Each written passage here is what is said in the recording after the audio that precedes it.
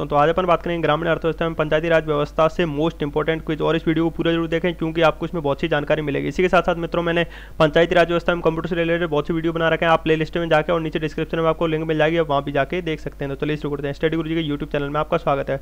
और यदि आपको कोई क्वेरी प्रॉब्लम है तो आप व्हाट्सएप नंबर पर पूछ सकते हैं। तो पहला क्वेश्चन अनुसूचित जाति, अनुसूचित जनजाति तथा महिला सदस्यों सदस्यों को प्रतिनिधित्व प्रदान किया गया है। तो केवल पंचायतों में, केवल पंचायत समितियों में, केवल जिला परिषदों में या उपयुक्त सभी संस्थाओं में? तो इसका आंसर क्या हो जाएगा? उपयुक्त सभी संस्थाओं में किया गया है। नेक्स्ट दोस्तों, पंचायती राज प्रणाली कहाँ नहीं है? तो पंचायती राज प्रणाली अरुणाचल प्रदेश में नहीं है। राजस्थान के आप जानते हैं, राजस्थान के नागौर में 1959 में मोस्ट इंपॉर्टेंट क्वेश्चन है। 1959 में पंडित जवाहरलाल नेहरू ने इस योजना का शुभारंभ किया था और इसके पश्चात दूसरा कौन सा था? आंध्र प्रदेश राज्य था, जिसमें इस योजना को शुरुआत किया गया था। नेक्स्ट दोस्तों, अब देखिए, प्रजातांत्रिक विकेंद्रीकरण पर्याय है तो ये क्या हो जाएगा? पंचायती राज का हो जाएगा।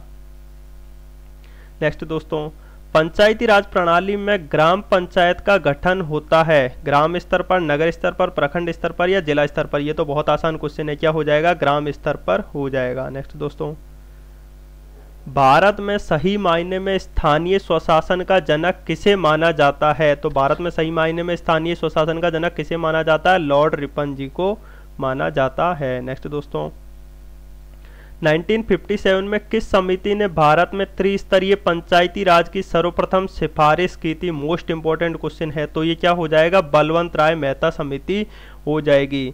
उसके पश्चात अशोक मेहता समिति कब आई थी? 1977 में आई थी, और अशोक में ये भारतीय जनता पार्टी के उसमें आई थी, और इसने क्या कहा था? द्विस्तरीय कहा था।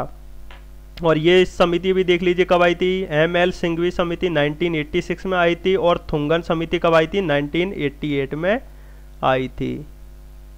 ये इंपॉर्टेंट है, आप ईयर ज़रूर याद रखें इनका। नेक्स्ट दोस्तों, भारत में पंचायती राज प्रणाली का शुभारंभ कब व कहाँ हुआ? तो ये 2 अक्टूबर 1959 को कहाँ पे हुआ था? राजस्थान के नागौर में हुआ था। नेक्स्ट दोस्तों, निम्न में से भारत में पहला नगर निगम कहाँ स्थापित हुआ था? तो ये मोस्ट इंपॉर्टेंट क्वेश्चन है।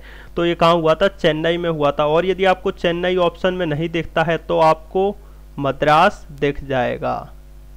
नेक्स्ट दोस्तों, भारत में प्रत्यक्ष लोकतंत्र का उदाहरण है तो भारत में प्रत्यक्ष लोकतंत्र का उदाहरण क्या हो जाएगा? ग्राम सभा हो जाएगा। नेक्स्ट दोस्तों, यदि पंचायत भंग होती है तो किस अवधि के अंदर निर्वाचन होंगे? मोस्ट इंपॉर्टेंट क्वेश्चन है और आसान भी है तो छह माह के अंदर हो जाएँगे। नेक्स्ट दोस्तों एक विकास खंड पर पंचायत समिति होती है तो ये क्या होती है? ये एक प्रशासकीय अधिकरण होती है। नेक्स्ट दोस्तों, ग्राम पंचायत की आय का स्रोत कौन सा है? तो देखिए, भूमि और स्थानीय कर होगा नहीं, मृत्यु कर होगा नहीं, मकान एवं पशु कर होगा नहीं तो क्या हो जाएगा? मेला एवं बाज़ार कर हो जाएगा। नेक्स्ट दोस्तों, पंचायती राज संस्थाएँ अपनी निधि हेतु निर्भर रहती हैं। किस पर? संपत्ति कर पर, सरकारी अनुदान पर, स्थानीय कर पर या विशेष कर पर? तो ये क्या हो जाएगा? सरकारी अनुदान पर हो जाएगा।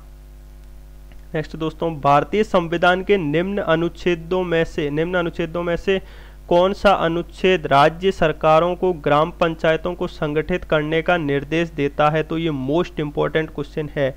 ये क्या हो जाएगा? आर्टिकल नंबर 40 में ये बात हुई है। इसी के साथ साथ आर्टिकल नंबर 43 अनुच्छेद नंबर 43 43 में क्या बात हुई है कि आपको कुटीर उद्योगों का विकास कर सकते हैं। और 48 में, अनुच्छेद नंबर 48 में ये बात हुई है कि जो गाय आदि, जो पालतू पशु हैं, उनके वध पर मतलब उनको अपन मार देते हैं, उन पर बिल्कुल रोक लगनी चाहिए और इसी के साथ साथ 48 ए 48 ए में ये बात हुई है कि अपन पर्यावरण व वन्य जीवों का क्या करना होगा, अपन को संरक्षण करना होगा और अनुच्छेद नंबर 51 में बात हुई है अंतर्राष्ट्रीय शांति और अपन को सुरक्षा का प्रयास करना होगा। ये सभी इंपॉर्टेंट है।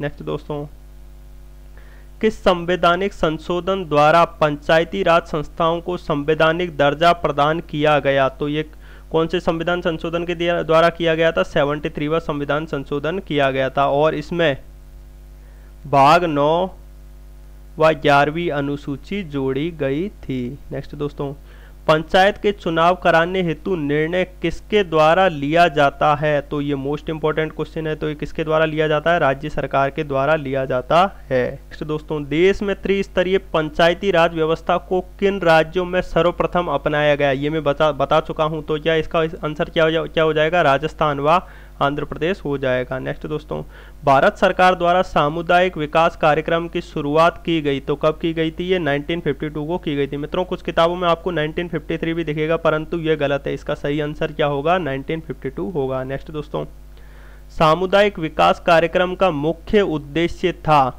तो इसका मुख्य उद्देश्य था विकास में जनता का सहयोग सुनिश्चित करना। ये मोस्ट इंपॉर्टेंट क्वेश्चन है।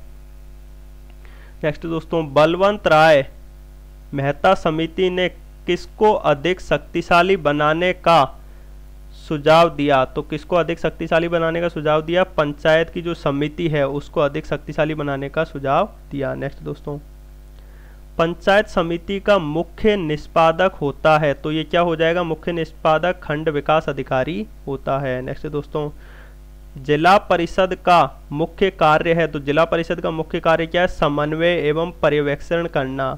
यानी समन्वय मतलब एक उद्देश्य होता है कि इतने इतने ऐसे काम करने हैं, इस अनुसार होता है। नेक्स्ट दोस्तों, खंड स्तर पर पंचायत समिति एक क्या है? तो खंड स्तर पर पंचायत समिति एक प्रशासनिक प्राधिकरण है। खंड स्तर अपन मतलब एक तरह से कह सकते हैं, जैसे ग्राम पंचायत और जिला परिषद होता है, उन दोनों की ये बीच की कड़ी होती है।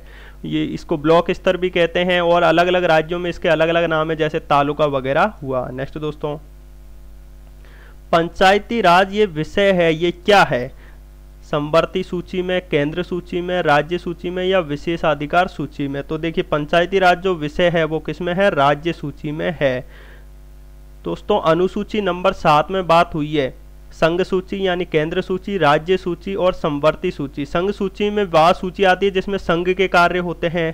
सारे राज्य सूची में राज्य के आते हैं और संवर्ती सूची में संघ और राज्य दोनों को मिला के जो कार्य वगैरह किए जाते हैं, वो आते हैं।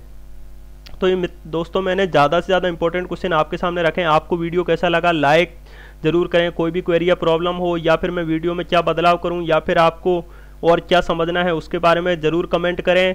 अपने फ्रेंड्स में शेयर करें और नए मेहमानों से विनती है चैनल को सब्सक्राइब करके बेल आइकन को ज़रूर दबाएँ, जिससे वीडियो नोटिफिकेशन आप तक पहुँच सकें। सो थैंक यू फ्रेंड्स जय हिंद, जय भारत.